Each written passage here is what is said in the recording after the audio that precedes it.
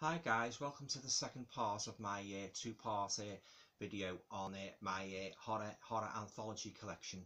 So we'll go straight in with uh, the first one. This is a double one. It's uh, All Hallows Eve and Mischief Night. Both fantastic movies. Um, I had the All Hallows Eve on DVD, but I wanted to upgrade to this Blu-ray release, which I, I treated myself to, you know, for Christmas. Um, so yeah, that's All Hallows Eve and Mischief Night. Next one up. This is just a new one. What I've got this week actually. I haven't actually watched it yet. It's called Tales Tales of Poe, and it's basically uh, it's kind of a modern rendition on the Tales of Edgar Allan Poe. Um, you know, given a modern slant. Now, I first got to know about this movie through watching it on Roku, one of the Roku channels. I think one. I think it was called Horror uh, Horror Cult Network or Trashy Horror. One of them anyway and I'll just get it. there's three stories all, all together and I was just getting through halfway the, halfway through the second story and the blooming channel went off didn't it? But so I thought I couldn't get it back on so I thought to myself I've got to get that movie from my collection to watch the rest of it. Uh, you know for what I saw of it like you know from you know it was very good very good stories. So yeah that is Tales of Poe. Next one. One of my British favourites. Tales that Witness Madness. Um, not quite, not just, not quite up in, into, in, not quite up to the quality of the Amicus horror portmanteau movies, but still a very, very good watch. You know, it really is good. Um, I just read you the back of it. Stroll down the corridors of a mental asylum where your mind won't believe what your eyes see. In the tradition of Tales from the Crypt and Creepshow, this anthology of pulp horror tales, helmed by the ever-reliable horror master Freddie Francis. The film features a quartet of eerie vignettes involving four patients in the care of a psychiat psychiatrist Donald Pleasence who is attempting to justify his strange theories to colleague Jack Hawkins. The all-star cast includes Kim Novak, Suzy Kendall, Joan Collins, Peter McEnery. So there you go. Um, I particularly love the story with Suzy Kendall and Uncle Albert, where uh, you know her husband buys these uh, antiquated, antiquated um, items from you know from a shop, a penny farthing, and a portrait of this guy from the Victorian era called Uncle Albert. And you know, we, I won't give away too much of the story, but it's that's my favourite one.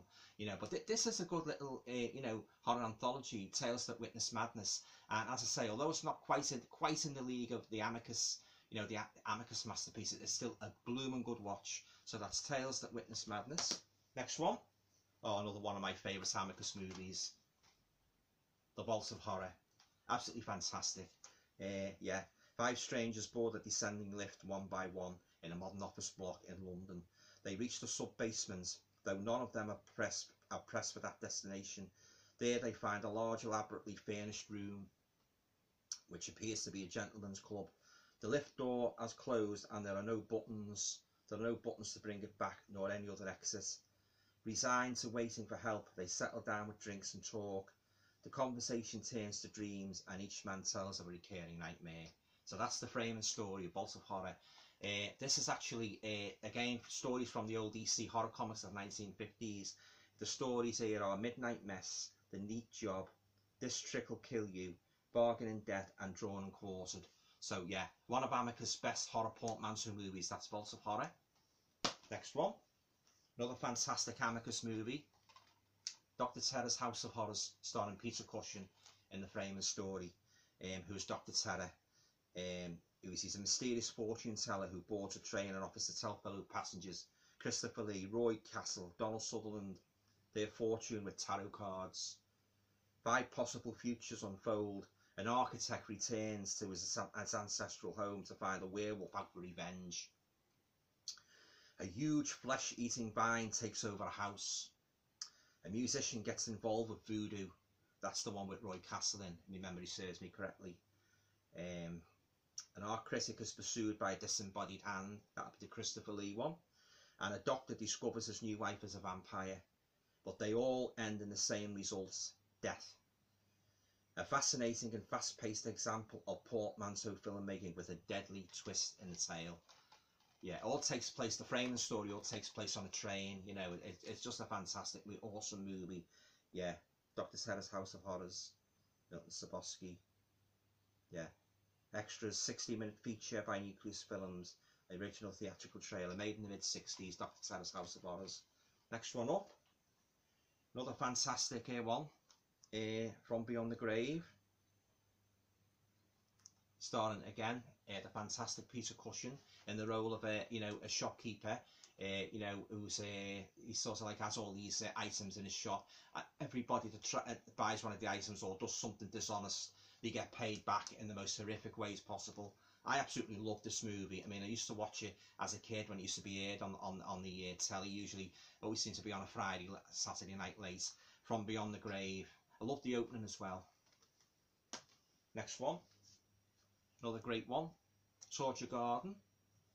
Raymond's story involves Burgess Meredith as a sinister uh, what carnival carnival performer, um, and the stories are all good. This is a great release from Indicator. All special features including Ramsey Campbell and Robert Bloch. The horror fiction author explores the importance of the prolific Bloch, Fiona Subotsky and Milton Subotsky, high definition remaster, The Guardian interview with Freddie Francis and loads more. Yeah, that's another great horror horror anthology from the 60s, Torture Garden. And last but by no means least is Trick or Treat.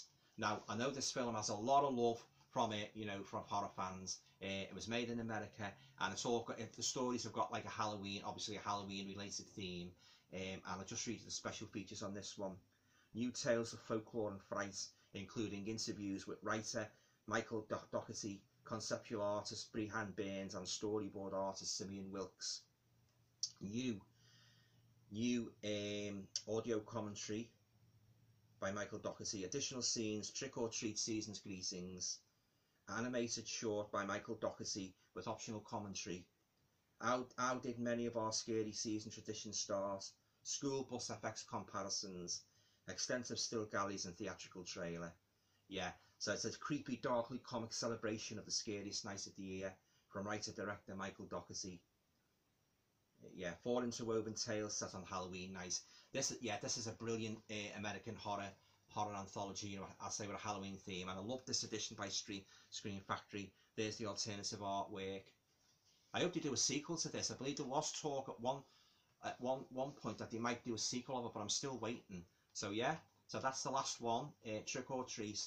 Okay, guys, I hope you hope you enjoyed this two-part video of uh, my collection of uh, you know horror horror anthology movies.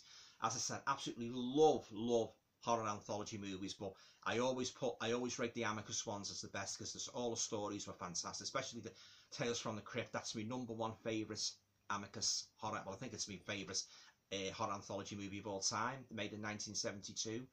Um, yeah, Ralph Richardson is the Crypt Keeper, and the story that sticks out in my mind in that one is, I mean, all the stories are good, but the one involving Peter Cushing, uh, you know, it's very, very sad and that, you know, but God, what a horrific ending. Yeah, very good. Okay, so uh, I'm always on the lookout for new you know horror, uh, horror anthology movies. So if you've got any good recommendations, please drop me a line, leave a comment, you know, leave a message below.